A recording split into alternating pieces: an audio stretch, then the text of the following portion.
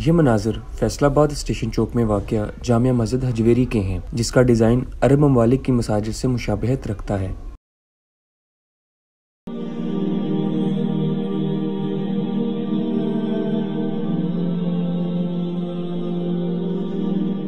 मस्जिद में 200 से ज़्यादा नमाजी बैत वक्त नमाज़ अदा कर सकते हैं। रेलवे स्टेशन और गिरदोनवा में मुख्तलिफ़ मुसाफिर अड्डे होने के बायस मुसाफरों की ज़्यादातर तादाद यहाँ पर नमाज़ का फरीजा सर अंजाम देती है।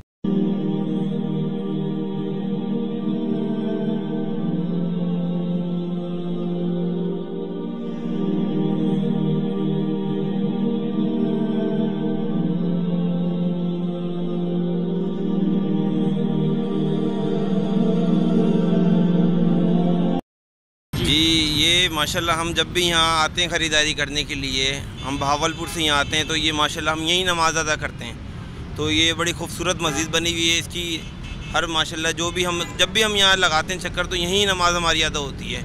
और इसकी फैसलाबाद की ये शान है माशाल्लाह मस्जिद। मुनासिब देखभाल के बायस ये मस्जिद अपनी पहचान कायम रखे हुए है। दिलकश मस्जिद की खूबसूरती राहगीरों को अपने शहर में मुबतला कर देती है। माशाल्लाह ये मस्जिद बहुत खूबसूरत मस्जिद है। ये रेलवे स्टेशन चौक के पास बनी हुई है और यहाँ पे तकरीबन मुसाफिर जो आते रहते हैं कोई किस शहर को होता है कोई किस शहर को होता है माशाल्लाह खूबसूरत मस्जिद है। रेलवे स्टेशन में जो मस्जिद बनाई गई है वो बहुत ही प्यारे अंदाज में बहुत ही प्यारे कह लो कि डिज़ाइन के हिसाब से उसको तामीर किया गया है। माशाल्लाह उसका गुंबद बेतहाशा प्यारा है बे इंतहा प्यारा है।